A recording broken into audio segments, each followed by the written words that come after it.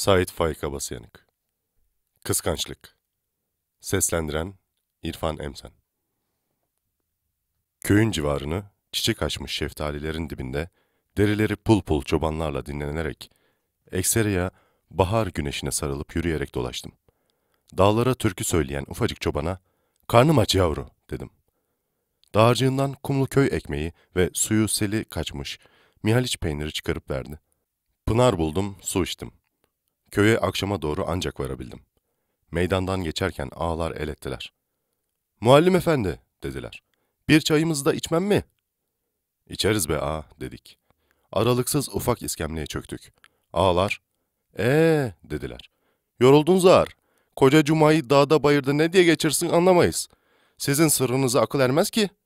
Biz eski zaman insanı ne anlarız yenilerin keyfinden, eğlencesinden. Ağlar be, dedim. Siz her gün dağda bayırdasınız. Ben çocuklarla şu kümes gibi yerde pinekliyorum. Bir cumayı da sizin gibi geçirsem çok mu? Sustular. Biraz sonra, eh dedim. Size doyum olmaz. Ağlardan hangisinin çay paramı vereceğini bilemediğim, aralarında bu şerefi paylaşamayacaklarını tahmin ettiğim için iki kuruşu fincanın kenarına bıraktım. Olmaz, olmaz diye bağırıştılar. Biz çağırdık da.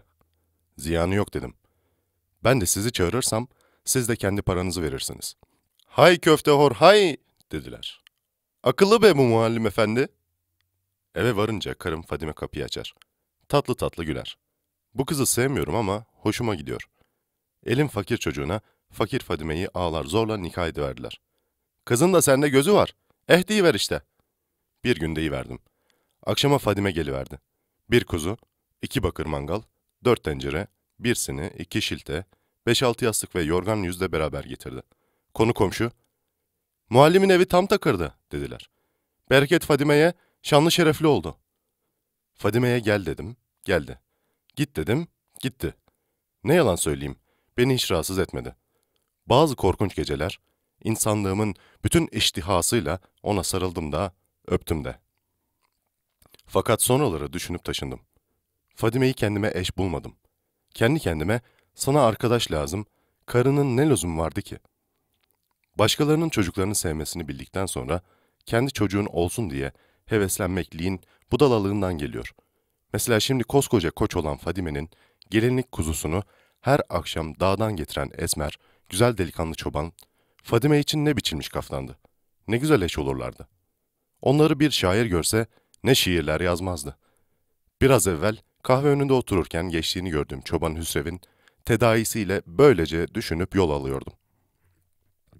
Evin arkasında 3-4 dönümlük bir bahçemiz vardır.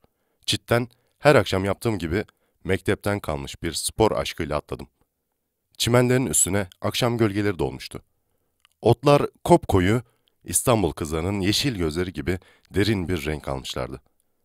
Gölgelere çarpmamak için mi ihtiyatla yürüyordum nedir? Birden durakladım. Hemen hemen kulağımın dibinden Hüsrev'in sesi geliyordu. Fındıkların dibindeydiler. Yapraklar kafalarını örtüyordu. Fadime acayip, şimdiye kadar hiç farkına varmadığım bir lirizmle ''Koca Hüsrev'' diyordu. ''Delikanlı oldun gittin be. Eh Karagöz iyi dövüşüyor mu bakalım?'' ''Sorma Fadime. Geçen gün Celil Ağa'nın kara koçunu bir alt üst etti, görseydin. Celil'in koçu bir kaçıyordu ki. Kaçırtır Karagöz'üm kaçırtır.'' Yapraklar kafalarını örtüyordu. Koç ortada, parlak, yağlı boynuzlarıyla gölgelerin içinde heybetli bir satir olmuştu. Yaprakları ayırarak yaklaştım. Hüsrev, Fadime'nin elini tutmuştu. Beni görünce çekmedi. Filozoflaşarak içimden, 17 yaşında bir erkek çocuk, 17 yaşında bir kız çocuğunun elini tutarsa, 35 yaşındaki erkek, 17 yaşındaki kızın kocası da olsa şaşmamalıdır dedim. Merhaba oğul, Fadime nasılsın dedim. Koçu biraz sevdim, yürüdüm. İçim ezikti.